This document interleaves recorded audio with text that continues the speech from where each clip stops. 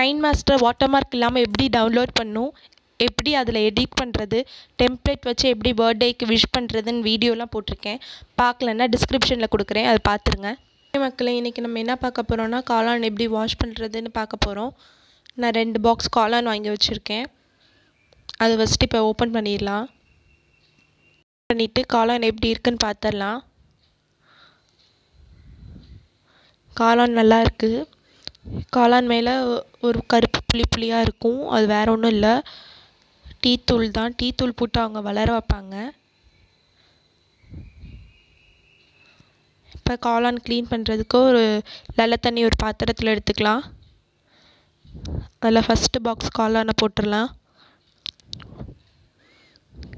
நல்லா கை வச்சு நல்லா கழுவிக்கோங்க.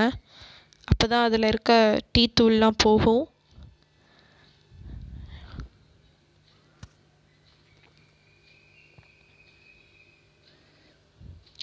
நான் எப்படி கழுவுறேனோ அதே மாதிரி கழுவுங்க.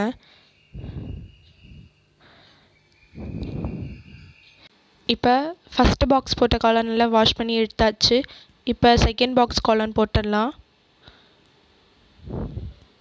நல்லா தண்ணியில் நல்லா கழுவிக்கோங்க.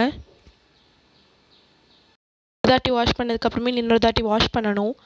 அதுக்காண்டி ஒரு பாத்திரத்தில் நல்ல தண்ணி எடுத்துகிட்டு காளான் போட்டுங்க. போட்டுட்டு உப்பு போட்டுக்கோங்க. இல்லைன்னா லெமன் இருந்தால் லெமன் புழிஞ்சிட்டுக்கோங்க புழிஞ்சிட்டோன்னே கொஞ்சம் நேரம் வந்து நல்லா பிரட்டி விட்டுக்கோங்க காளானை. ரொம்ப நேரம் த காளானை வந்து தண்ணியில் வச்சுருக்கக்கூடாது சொத சொதன்னு போயிடும் அப்போ சமைக்கும் போது நல்லா இருக்காது காளான்.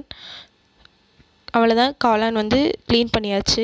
ஃபன்னியான ப்ளூப்பர்ஸ் அப்லோட் பண்ண போகிறோம் மறக்காமல் பார்த்துருங்க மோர் ஃபன் காத்துட்ருக்கு அதில்.